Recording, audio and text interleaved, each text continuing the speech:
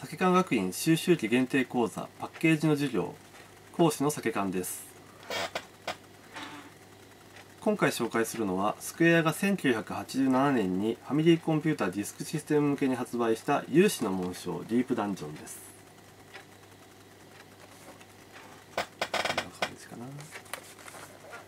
は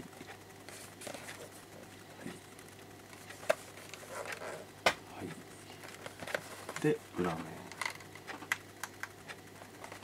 で一応表面から見ていくとまあロゴがあって、うん、待望の超本格 3DRPG あ 3D ロールプレイングゲームってルビーが入ってますね。で一応まあ有志が魔物をこう剣でザクッとやってる感じですかね。でハミングバードソフトとドッグのロゴ。で裏面でこっちもキャッチがあってロゴがあって説明文があって画面写真が4つもありますよ。で原案企画制作株式会社 MAC 発売元株式会社スクエアですね。でこう上からいくと熱き感動の声に応え勇士は戦いの剣を手に立ち上がった。大好評ディープダンジョン魔導戦記に続く勇士の紋章堂々の登場ド迫力の 3D ロールプレイングゲームだ。ほどね。好評だったからこれ2作目が出たよっていうことですね。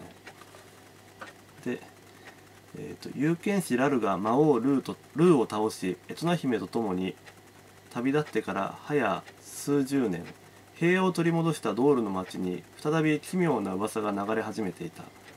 国王の姿が消えた。城から怪しげな声が聞こえる。やがて人々の疑惑は一点に集中した。あの魔王ルーが蘇ったというのか。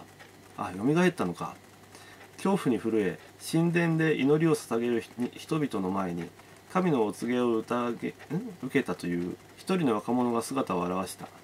ああなたは伝説の有権士ラルノ長老は驚きの声を上げた。っていうことでまあラルっていうのがまあ前作の主人公で、まあ、魔王ルーを倒したっていうことは、まあ、ディープダンジョンの1作目のネタバラシをしてるわけですけど まあそれでしばらく経ってから、まあ、2作目になったよ。で、まあ、主人公が、まあ、ラルに、ま、1作目のラルにまつわる人なんだろうなってことがあって、まあ、長老は驚きの声を上げたんですけど僕はもっと驚きの声を上げたのがここ。ディープダンジョン魔導戦記のこの戦記の木の字がゴンベンなんですよ。1作目のロゴはあの糸編です。びっくりです。驚きを声を上げました。以上酒缶でした。